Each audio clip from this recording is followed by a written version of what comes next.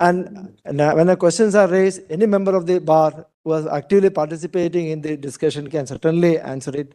And I did not do anything wrong.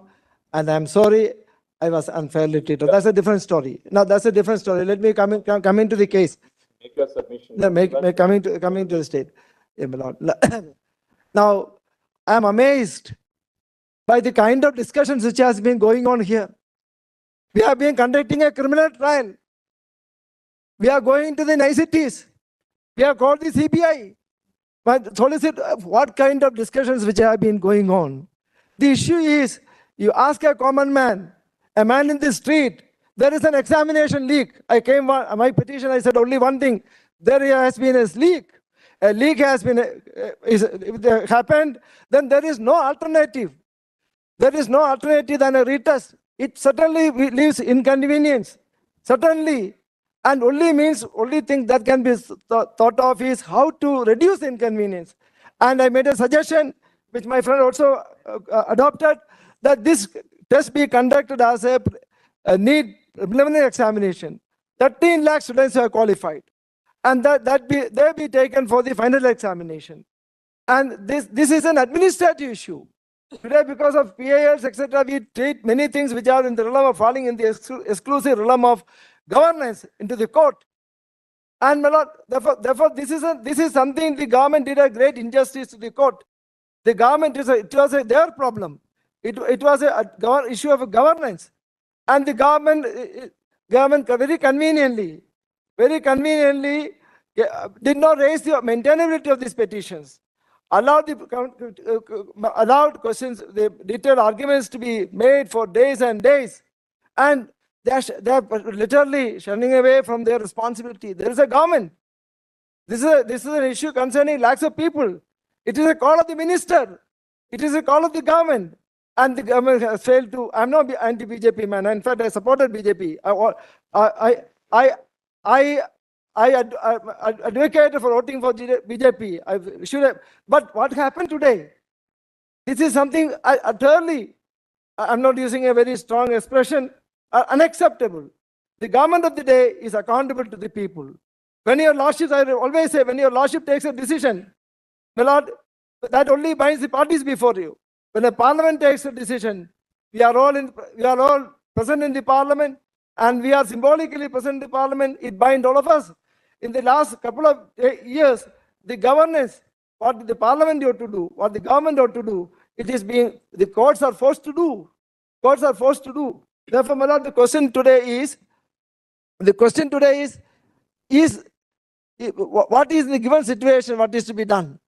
Admittedly, there is a leak, and this leaves no option than to cancel the examination, as rightly Justice Ju- Ju- Justice Vikram Nath, Justice Vikram Nath has said, 0.00 percent doubt, examination has to be cancelled, and that is the only option. This is a matter which should have been concluded in 20 minutes. And good that we spend a good lot of time. I'm no quarrel about it. And therefore, and my advice to the court is that court should not enter into the domain of the executive. Let the government do its job. Let the government answer to the people. The parliament is going on. Session is going on. The very NEET issue is before the parliament. And here is a solicitor general. He doesn't even oppose. I'm for the petitioner. I'm, I'm strongly advocating the cancellation of this examination. Still, I said, as a matter of principle, a lawyer has to speak about the fundamental constitutional principle.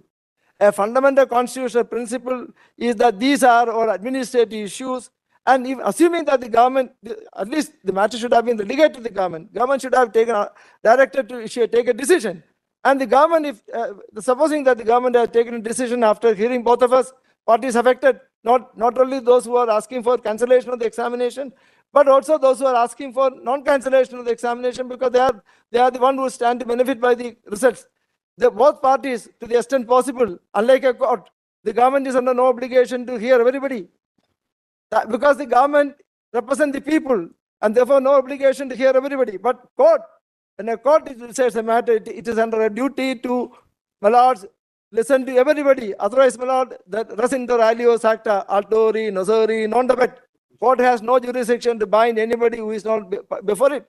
So the, having this fundamental principle being stated, And, whenever every, every PIL comes before this court, this court should certainly adjust to itself. The people affected are not here. And we are, we don't represent the people of this country. And, and these issues concerning the public at large cannot be decided behind the back of them. These proceedings are not in, uh, representative proceedings. These are proceedings, in my case, uh, fif- 16 with- with the students were affected by it. Therefore, my when this case came, the only option is to throw the ball to back to the government's court and the government to take a call uh, on the question of cancellation. And the government would have done it in moments' time. It wouldn't have been able to justify this, this examination, not even one moment. The government would have come with the conclusion, the, the decision to cancel it forthwith. And the government conveniently, very conveniently, saying that is a non, non-adjudicatory, the Solicitor General says, non-adjudicatory litigation. What is that? Non-adjudicatory. There is nothing like non-adjudicatory. Court's job is to decide ad- disputes. uh, Court's duty is to de- decide disputed questions of fact and apply the law. If the issues are non, non-adjud- non-adjudicatory, there is nothing. It is administrative. And my lord, I conclude by saying one word. My lord, I forgive your lordship for all the insult to me and my lord, humiliation. I forgive your lordship, Lord, forgive them for the for they not know what they are doing. I for- I have nothing in my mind. I have the greatest of regard for your lordships and lordship, uh, Pardiwala also. I have the greatest of regard, though I was insulted. I don't keep, keep, keep anything in my mind. But my lord, this, this NEET examination has to be cancelled forthwith. It cannot be delayed one minute because precious time of the students are lost and a fresh examination has to be conducted forthwith. And it is for the, the government to decide whether it has to be for the ent- 13 lakh students who was selected or it has to be for a lesser number. And these are areas where the court should step in because what is governing the, the matters of administration, the, but those in governance alone come to know about it. Somebody said it's a certainly new is a very loosely conducted, all outsourced. But that is true. But in, in a governance, outsourcing is necessary.